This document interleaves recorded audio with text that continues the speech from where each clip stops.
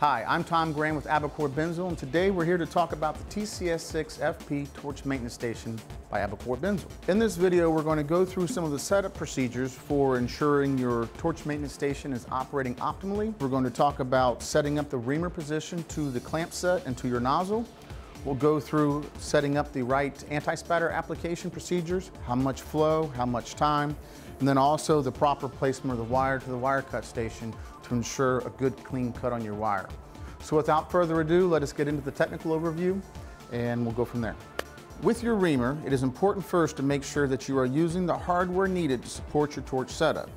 Having the right clamp set and reamer bit for your application is critical. The three main pieces of information you need to know to ensure proper setup your nozzle ID, your nozzle OD, and your required reaming height. The key is first to clamp flat on the nozzle, not where the nozzle begins to taper, and not in the knurled portion of the nozzle. Having the right clamp set will help ensure central clamping of the nozzle, providing concentricity to the blade, and having the right clamping force applied. Binzel reaming blades have three cutting edges.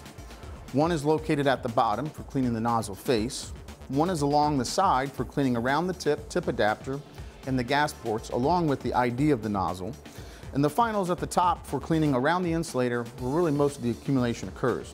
In order to ensure setup is correct, Binzel provides a setup tool to utilize during the robot teaching process, which you slide over the reaming blade. Not only does it help direct teaching position of the robot, but also helps you identify the right position of the reamer blade and motor assembly relative to the set nozzle position.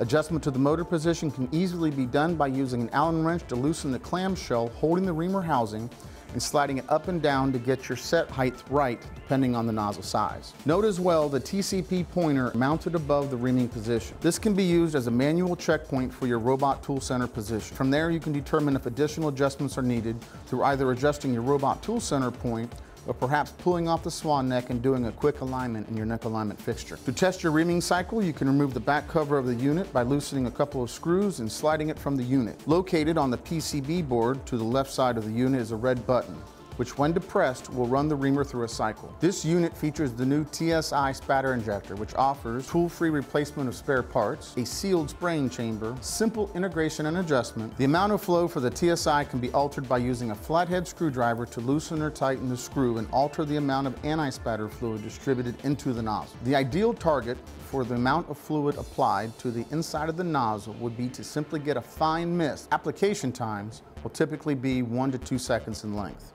The bottle mounting for the anti-spatter fluid that feeds into the TSI features a check valve, a bolted-on bottle holder that is secured to the TCS6FP, and a 90 degree connect onto the wire cutter. The most important feature of this wire cutting station is the manner in which we cut the wire. The process entails setting the wire against the back block of the wire cut station.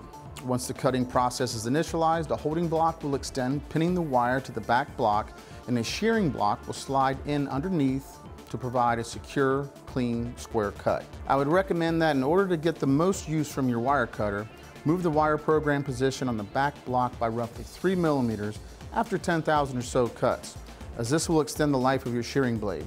Ideally, this will provide you 40 to 50,000 cuts before needing to be replaced. Should you require additional information on this product, please feel free to contact your local Binzel representative or your local gas distributor. You can also get additional information on this through our website at www.binzel-abicor.com. Thank you very much for your time today. We look forward to helping you solve your welding problems today and in the future. Thanks.